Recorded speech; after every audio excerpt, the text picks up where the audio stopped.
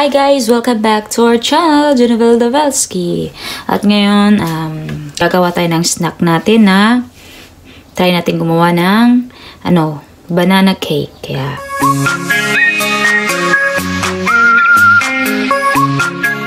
Ayan, meron tayo ditong ano, tatlong hinog na saging. So, iano lang natin siya. Imamash. Maliliit yung saging. Imamash lang natin. So, ayan. Pwede na yan. Lagyan natin ng ano, 1 half teaspoon o lemon juice. Ito, 1 half teaspoon lang. Ayan.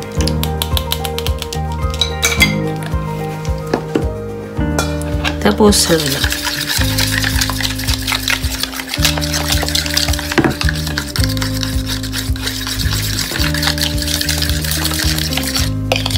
So, set aside muna natin to. Maglalagay tayo ng 1 cup all-purpose flour. 1 cup lang siya.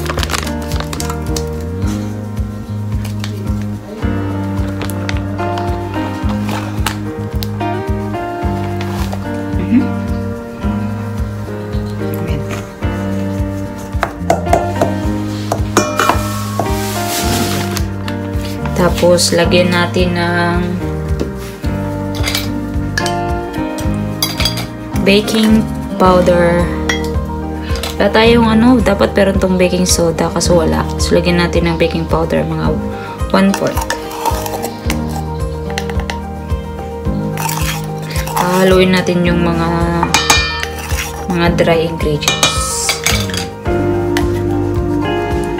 Tapos, lagyan din natin ng ano, ito, cinnamon powder. Cinnamon powder. Mga ano lang. Mga 1 4 teaspoon. Ayan. Pampa ano na siya. Pampabango. Ayan. Takot pa.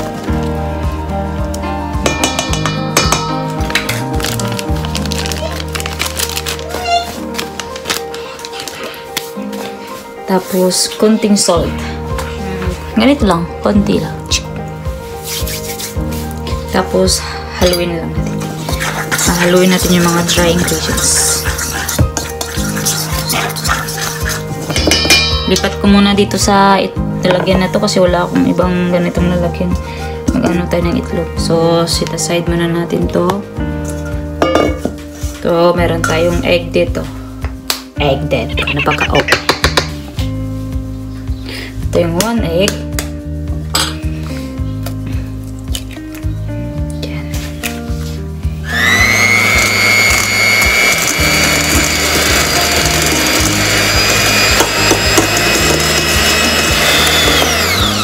So, ayan. So, lagyan na rin natin ng sugar. Wala akong white sugar, guys. Kaya, yung red sugar na lang. Or brown sugar. Red sugar. Brown sugar na lang. Yung atong 1 half cup o brown sugar. So, ayan. Tapos, ihalo natin yung ating nas mas na banana.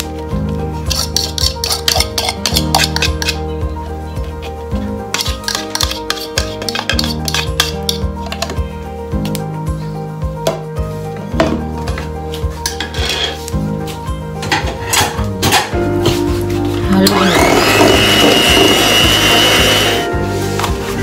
Lagyan natin ng 6 tablespoon na oil. 1, 2, 3, 4, 5, 6. Marami na yun. Tama na yun. Tapos, halo again.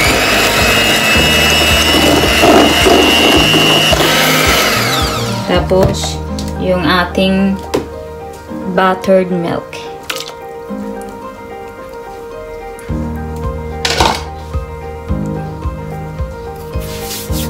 Tapos, lagyan din natin ng ano, vanilla para mabango yung ating mga tatlong patak lang. Isa, dalawa, tatlo. Ganun. tatlo pero apat yun eh. Tapos, i-ano na natin siya. I, i-mix na natin siya. Halo na natin to.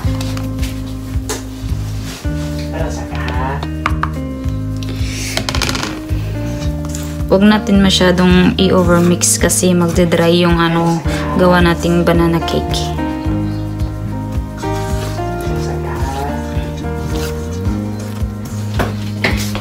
May twist pala yung ating banana cake. Lalagyan natin siya ng raisins. Para, para may iba naman. Natin ng raisins yung ating banana cake.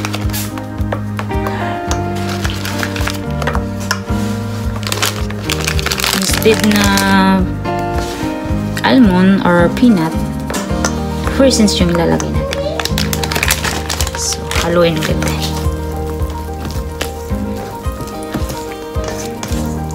Huwag lang natin i-overmix kasi magpapangit yung ating ano. Dagdagan pa natin.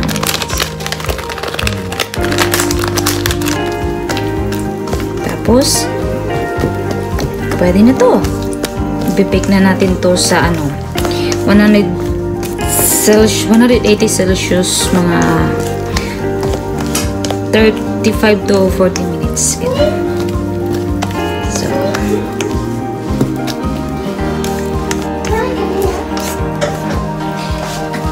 Eto, nilagyan ko na pala siya ng oil para diretso na. So, lagyan natin dito.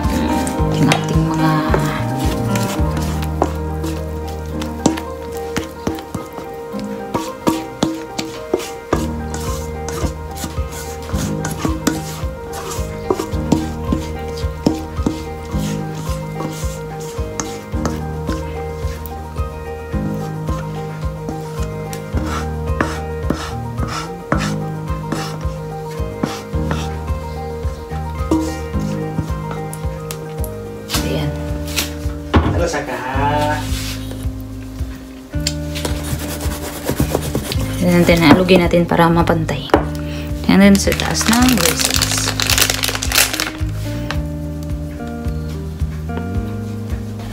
So, paano ba yan? See you later pag luto na to. So, yan. Luto na yung ating banana cake. Yan. Banana cake. Lipat natin siya sa eto. Hindi pala to pang baking ano yung ating nalagyan.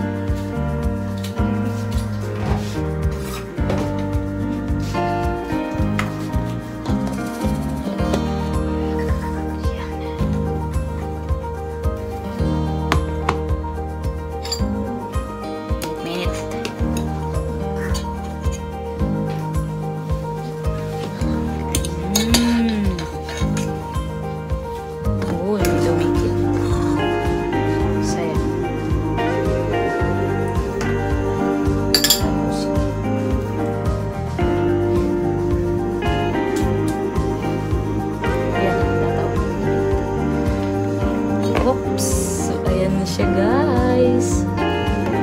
Napaka-smooth niya. Tapos titikman na natin.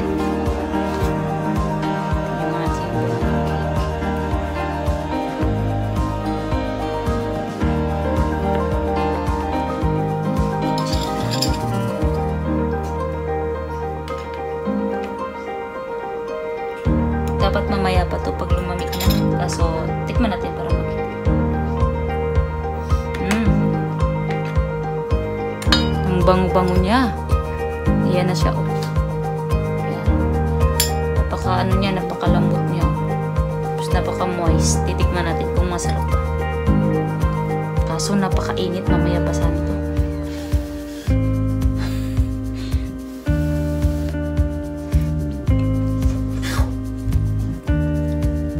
Hmm, init. Hmm, sarap. So, ayan na yung ating banana cake. So, thank you. God bless everyone.